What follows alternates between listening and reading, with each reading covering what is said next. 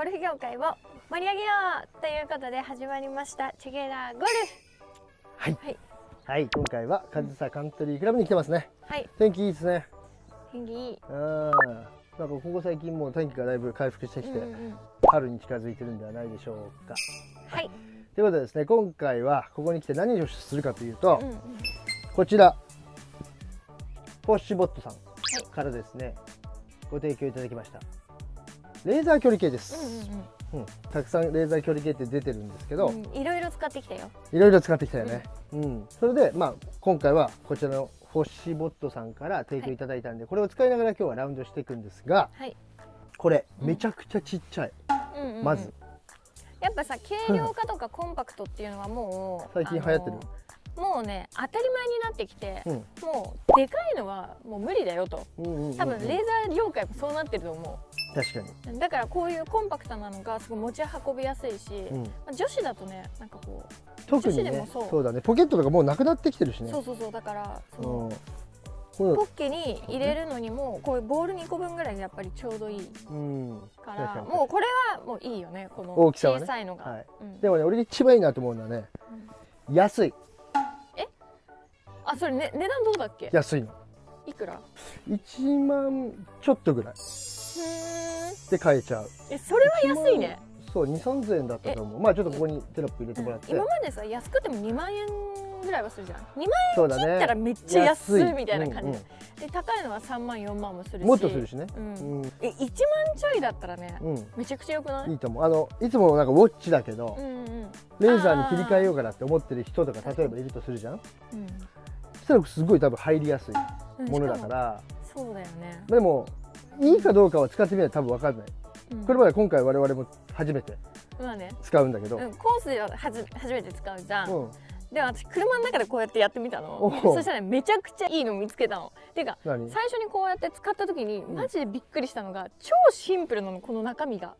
ああそもう文字がうシンプル。何ヤードっていうのがめちゃくちゃ大きく出てくるの。えー。だからもうすごいそれはもうこんなにシンプルなのなくない？今まで。まあ本当はね、正しいあの必要な情報だけバッとくるから迷わないというかうん。あの見やすい。それがすごくいい。あとうんこれタイプ C なの。あ充電式ね？そう。だからすごいいいと思それすごいいいよね、うん。だからうやっぱ電池式の、なんちゅうの？細単電池。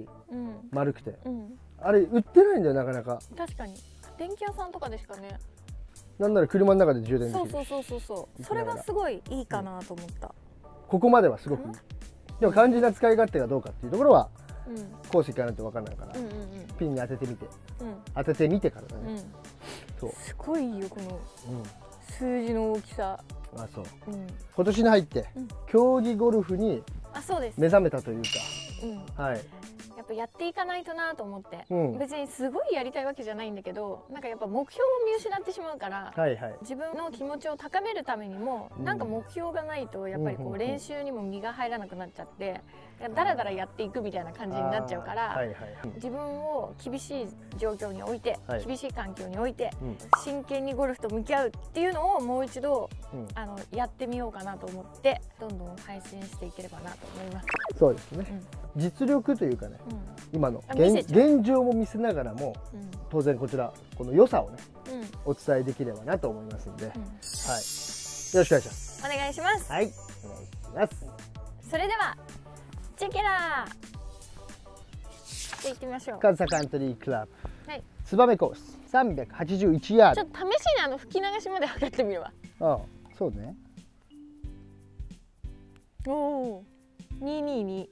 当てやすいかも。結構吹き流しちっちゃいんだけど当てやすい。ちょっとブレても当たるわ。よし。222うん。今日はアディダスさんのゴルフウェアで。珍しくない？こういう。新作？うん。珍しい色じゃない？うん春っぽいだよね。競技ゴルファーとしてはねやば。教育ゴルファーとしてね。頑張らんとそうだね。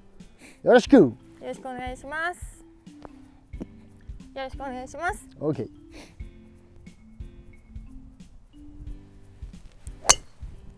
おおバッチリ。であと吹き流し方向。うん。いい感じ。どこ行った？吹き流し？真ん中。多分。やっぱふアゲンストめちゃくちゃ飛ばないね。うん。ねじゃあお願いします。お願いします PXG のニュードライバーでいくからね、アゲンストね、うん。まあ、アゲンストはねちょっと短く持ってね砲構えないでねちょっと目線低くしてねあスッて打つだけ。ー低い球出そう。そうそうイメージはね。でちょっと短く持つんだ。うん。で低くちょっと目線低くして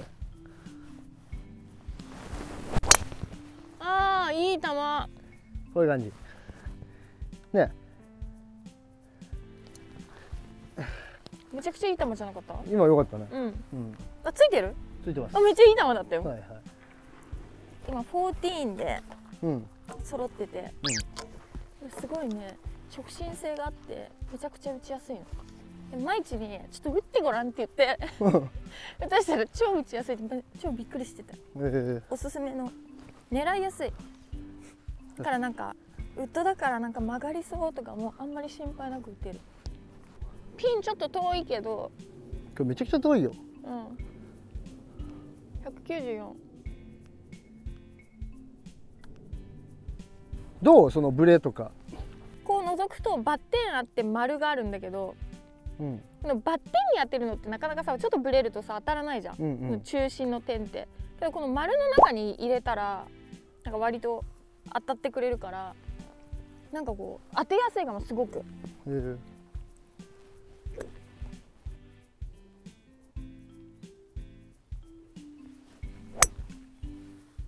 えいいんじゃない？いいっしょ？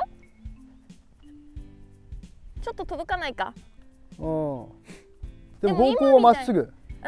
方向まっすぐ。そうだから今みたいに結構狙いやすいのなんなんなんでかわかんないけどなんか狙いやすい。なんかこう打って巻いちゃうとか巻い結構あったんだけどそれがなんかなくなってだから安心感あるかも。ウッドだからとか考えないでいいかも。簡単ということだね。要するに。すごいマジだね。何？いやあの丸にさ入れたら。そうそう。言ってることわかるでしょ？ちょっと今さはあはあしてちょちょっと手震えても122そう丸に入れればなんかシビアじゃないのよ。122ちょっとアゲンストで122ちょっと上りもあって130ぐらい打つつもり。ピッチングね。結構大きめにいきます。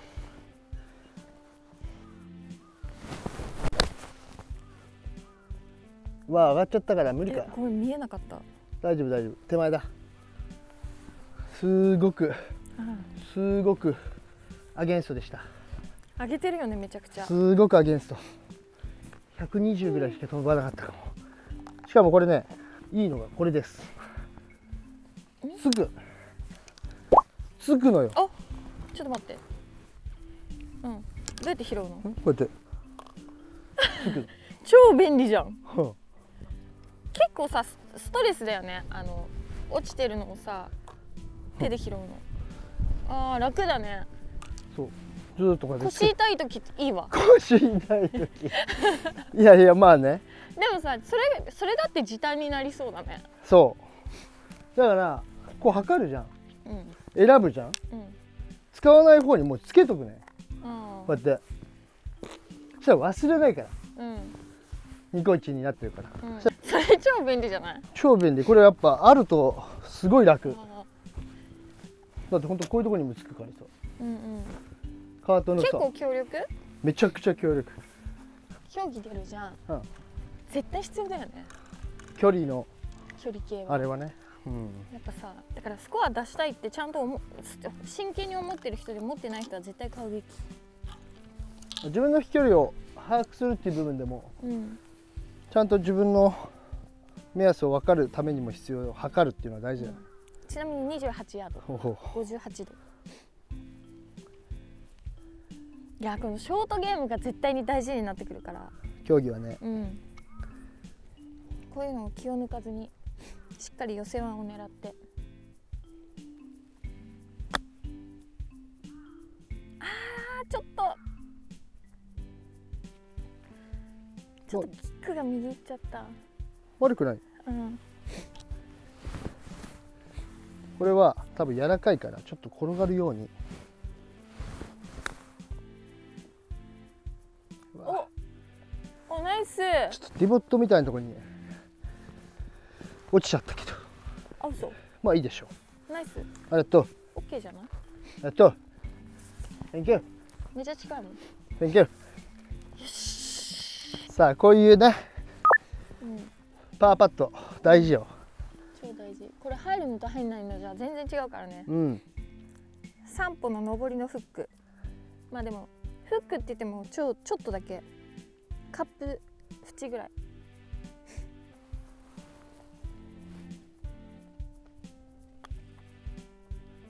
よし！うまっ。ありがとう！ナイスパうまいうまい。ーうんありがとう。よきよき。読み切ったね。素晴らしい。ツバメ2番ホールパー 5476B グリーンですね。よし。でドライバーは、お今年からヤマハでうどう？んなんか振りやすいは振りやすい振りやすい気がする。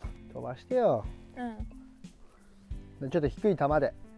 さっき言ったように、うん。上げてるからね。うん。あっち行ったら完全にあれ邪魔になりそう。だって木と木の間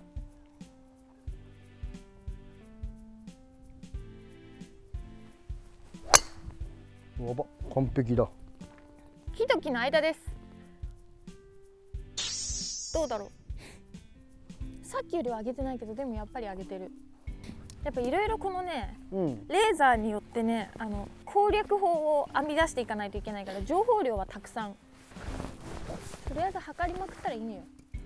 右の木方向狙い、ロング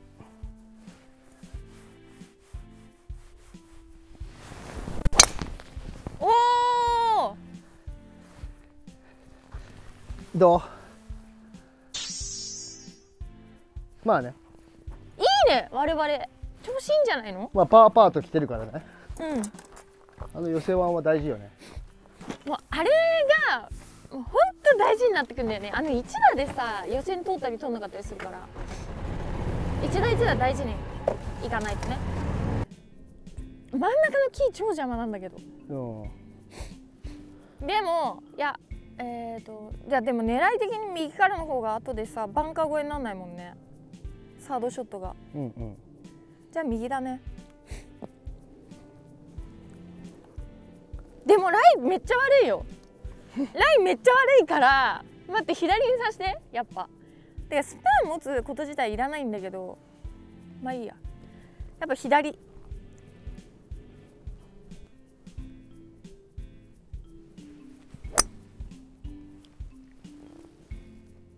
しょよしよし。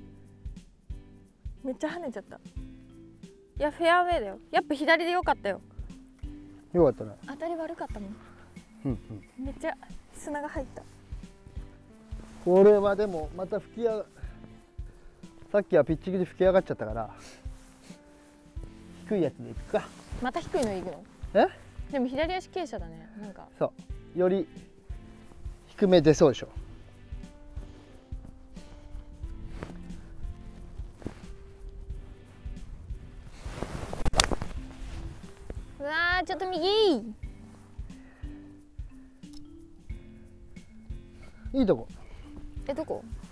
右右右だけどまっすぐ右。いいいとこいいとこいとこね。うん。け。右右右。133 133 OK 7番やちょっと傾斜がこうだこうだからうん。ちょっと右から。OK 左バンカーあるしね。うん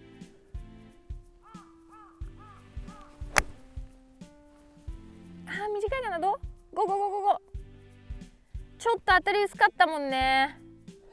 上げだし。でも失敗してもあそこだったら寄せワンの全然狙えるからいいかって感じ。うん。あれバンカーに入ったらもう終わり。あのバンカーやばそうだし。ね。うん。か考えながらやるって面白いわ。やっぱ競技志向になるといろいろ考えることが増えるじゃん。うん。だなんかただそういうの面白いね面白いなんかさ人ってさなんかこう新しいことに挑戦するのって拒否反応っていうかさなんか防衛反応出るじゃん。うん。だからさちょっとやりたくないなって思うこともあるんだけどそれをやらないと何にも成長しないしね実際。うん。9で。9でどこに落とすの？エッジか9であらのちょっと濃くなってるとこあるはいはい。1メートルちょいの。OK ところらへんかな。まずね上りだからあれかもしれないけどちょっとやってみます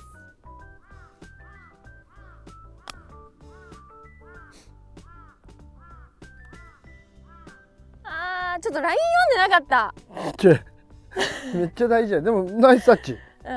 距離感はいいね。うん。う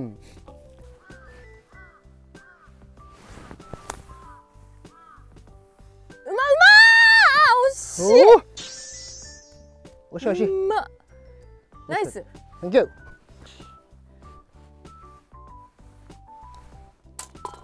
ナイスバーディー。Thank you さっきより切れそうでもボール1個かな。ボール1個かな。もうちょっと読むか。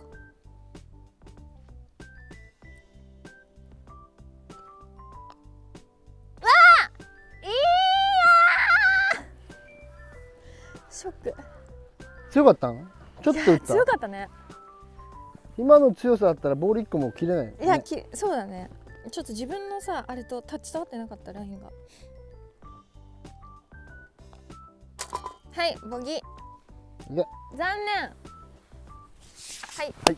というわけではい。競技に向けてももっと練習しないとなっていうことが分かりました、そうですね。はい、そしてはい。この今回うん。ご提供いただいたフォッシュボットさんのレーザー距離計はい。なんですけど当てやすい。すごい当てやすくて、うん使い勝手良かったなと思いました。うん。なんかちょっとブレてもねなんか当てたいところに当たるうん。かなと思いますあと磁石マグネットがあ強力マグネットがつついてるから なんかあのかっこつけてかっこつけた感じでうん。なんかこうこうやって ここにあって、パカーン。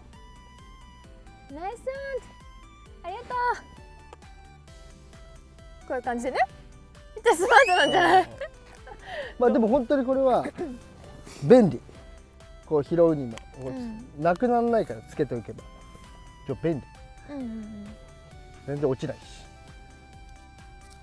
あめちゃくちゃ強力だね。そうだよ。だから落ちない。うん。でもまあ手では簡単に取れるけど、うん。これだけじゃ全然落ちないからこうつけといて持ち運べるとか拾えたりするから。すこれは結構ね俺は好きあってほしい。うん。どうフ使ってみてィット感もあるしいい。使いやすいいいと思う。あの初心者っていうか距離計始めましたの人はいいかもしれない。初めて使う人は一回お試しでお試せる価格帯でもあるからうん。そういう方は、迷ってうん、一回やってみるのはありかなとは思うし、はい。うん。こんな感じでした。はい、ありがとうごまざいました。フォシュボット、えっと、気になる方は概要欄から見てみてください。すこんな感じでまたラウンド動画やっていきたいと思います。はいではありがとうございましたありがとうございました。それでは、チェケラ